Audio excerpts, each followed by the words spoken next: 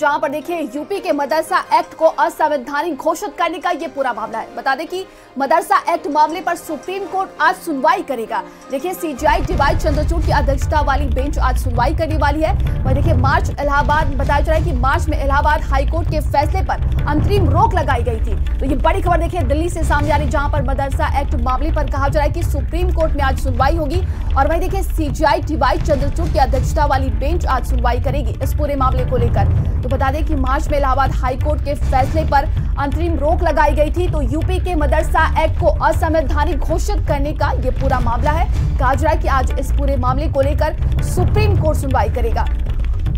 तो देखिए, CGI TY Chandrachud की अध्यक्षता वाली बेंच इस पूरे मामले पर आज सुनवाई करेगी। बताया जा रहा है कि मदरसा एक्ट का ये पूरा मामला है, जहाँ पर एक बार फिर से इस पूरे मामले पर सुनवाई की जाएगी।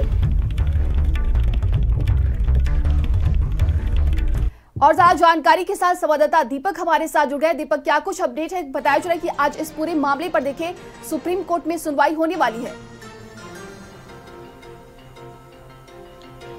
जी, बिल्कुल नंदी बता दें आपको कि यदि हम मदरसा एक्ट का ज़िक्र करें तो इलाहाबाद हाई कोर्ट का जो फैसला था, उसको लेकर के सुप्रीम कोर्ट पूरा मामला पहुँचा था और सुप्रीम कोर्ट पहुँचने के बाद फ़िलहाल के लिए इलाहाबाद हाई कोर्ट के फैसले पे रोक लगा दिया गया। लेकिन यदि हम मदरसा एक्ट का ज़िक्र करें तो 2004 का जो ये प्रावधान बनाया गया है, वो मुलायम सिंह यादव की जब सरकार थी, उस वक्त मदरसे को लेकर के एक नया कानून बनाया गया था, जिससे कि मदरसे में पढ़ रहे लगभग सोलह लाख से अधिक जो छात्र हैं वहाँ पर उनके भविष्य को लेकर के ये कानून बनाया गया था। लेकिन यदि हम इलाहाबाद हाई कोर्ट की ज़िक्र करें तो उसमें जो वहाँ पे याचिका डाला गया था, उसमें साफ़ तौर पे कहा गया था कि और भी जो धर्म है, चाहे ईसाई हो या फिर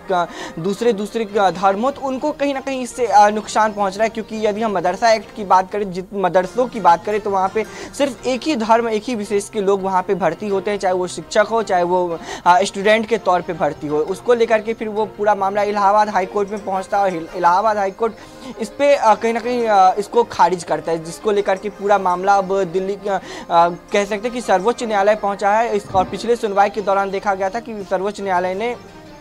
इस फैसले पर रोक लगा दिया था, लेकिन आज फिर से डीवाई चंचूर की बेंच इस मामले को लेकर के सुनवाई करेगी और सुनवाई के दौरान आज वो अंतिम फैसला देगी, क्योंकि यदि हम मदरसों का ज़िक्र करें तो लगभग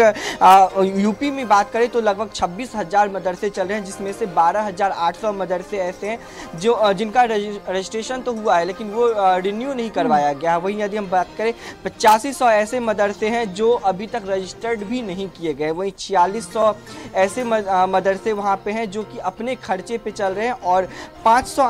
मदरसे हैं जो सरकारी फंडिंग से चल रही थी। लेकिन इलाहाबाद हाईकोर्ट के बाद वो आ, सभी फंडिंग रोक दिए गए थे और लगभग कहा जा सकता है कि यूपी में छब्बीस हज़ार से अधिक मदरसे संचालित किए जा रहे हैं और उसमें तकरीबन 16 से 17 लाख जो छात्र हैं वो उन मदरसों में पढ़ाई कर लें। लेकिन ये जो दलीलें दी गई थी शिक्षा विभाग की तरफ़ से उसमें साफ़ तौर से कहा गया था कि यदि हम मदरसों का ज़िक्र करें तो मदरसों में सिर्फ़ एक ही